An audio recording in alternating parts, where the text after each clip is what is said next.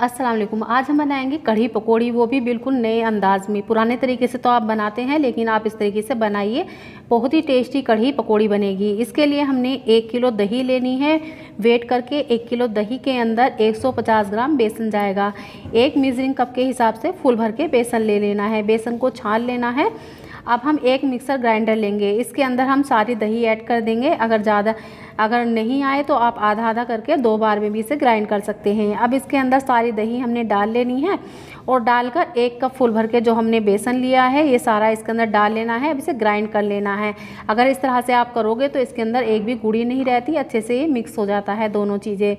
अब एक बड़ा सा भगोना लेंगे। इसके अंदर 200 सौ यानी कि दो बड़े चमचे के हिसाब से हम इसके अंदर मस्टर्ड ऑयल लेंगे। ये हमने सरसों का तेल लिया है। इसी के अंदर कढ़ी बहुत अच्छी लगती है। अब तेल को गर्म कर लेना है। जब तेल गर्म हो जाएगा तो इसके अंदर हम कुछ सामान डालेंगे। ये हम आपको दिखाते हैं।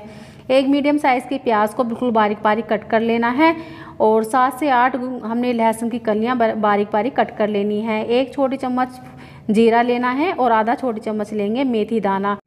और सात से आठ लेनी है, साबुत लाल मिर्च, ये इसके कढ़ी के अंदर बहुत अच्छी लगती है जब दिखाई देती है।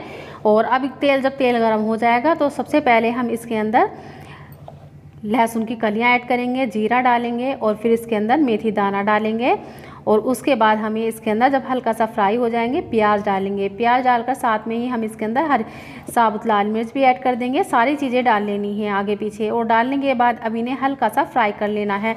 जब इनके अंदर अच्छा सा कलर आ जाएगा, हल्का गोल्डन सा कलर, इतनी देर इन्हें फ्राई करेंगे। अब इसके अंदर डाल लेना है जिंजर गार्लिक पेस्ट। दो बड़ी चम्मच फुल भर के हमने जिंजर गार्लिक पेस्ट लिया है। ये थोड़ा सा पतला था। तो हमने साथ के साथ ही ग्राइंड किया था, पानी डालकर, इसलिए थोड़ा सा पतला था। तो दो बड़े चम्मच अदरक लहसुन का पेस्ट डाल लेना है और एक बड़ा टमाटर बारीक कट करके इसके अंदर डाल लेना है। डालने के बाद अब इसके अंदर एक छोटी चम्मच मिर्च डालेंगे और अब इसके अंदर ऐड करेंगे डेढ़ छोटी चम्मच हल्दी, क्योंकि हल्दी कढ़ी के अंदर थोड़ी ज़्यादा ही डाली जाती है, इससे कलर बहुत अच्छा आएगा।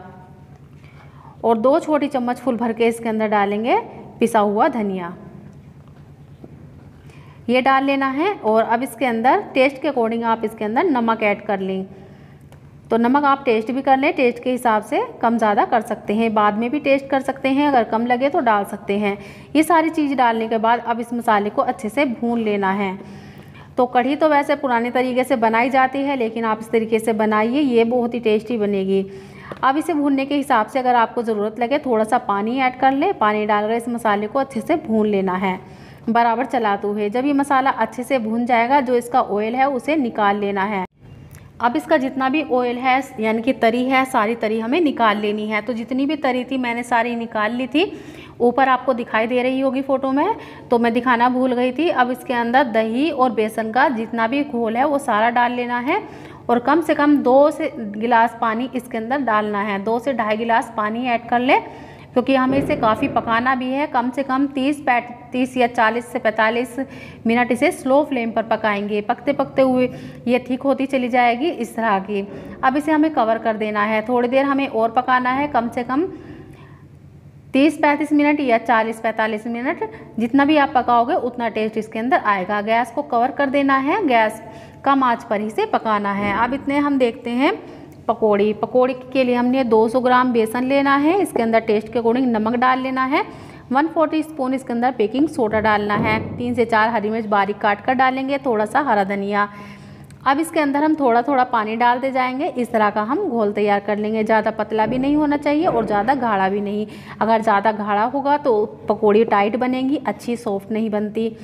तो जब भी आप पकौड़ी बना रहे हैं, एक बात का ध्यान रखना है, जब आप पकौड़ी तेल के अंदर डालोगे तो तेल अच्छी तरह से गर्म होना चाहिए। उससे क्या होता है, पकौड़ी एकदम फूलती चली जाती हैं और बैटर भी बिल्कुल सही होना चाहिए। अगर पतला होगा तो उसकी सेप अच्छी नहीं आएगी पकौड़ी की और ज़्यादा गाढ़ा होगा तो पकौड़ी हार्ड हो जाती हैं। या ठंडा तेल होता है, जब भी हार्ड हो जाती हैं। अगर ठंडे तेल में आप पकौड़ी डालोगे तो इस तरह की आपको जाली बनी हुई दिखाई देगी तो इसका मतलब है पकौड़ी बहुत ही सॉफ्ट और बहुत ही टेस्टी बनने वाली है। अब इन्हें दोनों साइडों से हमें फ्राई कर लेना है चेंज कर कर इनकी साइड है। तो ये फ्राई हो गई है अच्छे से। इनकी जाली आप देख सकते हैं कितनी अच्छी इनके अंदर जाली बनी है। अब इन्हें हम निकाल लेते हैं और जो बैटर बचा है उसे भी हम इसी तरह से फ्राई कर लेंगे। तो कुछ तरीका होता है, कुछ टिप्स होते हैं। अगर आप फॉलो करोगे तो बहुत ही टेस्टी कढ़ी पकौड़ी बनती है और पकौड़ी बहुत ही सॉफ्ट बनती है। अब 40-45 मिनट हो गए हैं कढ़ी को पकते हुए। इसके अंदर डाल लेंगे अब सारी जितनी भी हमने पकौड़ी बनाई है, डाल लेनी है, डालने के बाद अच्छे से चला लेना है। और अब इसके अंदर हम ऐड करेंगे एक छोटे चम्मच के हिसाब से गरम मसाला। गरम मसाले का फ्लेवर बहुत अच्छा आएगा। इसे अच्छे से मिक्स कर लेना है। जब ये मिक्स हो जाएगा तो हमने जो तरी निकाली थी मसाले की ऑयल हमने निकाल लिया था वो सारा ऑयल हम इसे ऊपर से गार्निशिंग करेंगे इस तरह से डाल लेना है।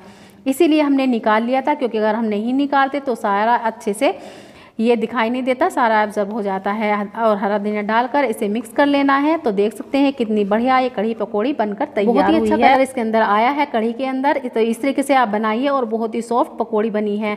अगर आपको पसंद आए तो वीडियो को लाइक शेयर और चैनल को सब्सक्राइब ज़रूर करना। अगली वीडियो में फिर मिलेंगे न्यू रेसिपी के साथ। अल्लाह हाफिज़।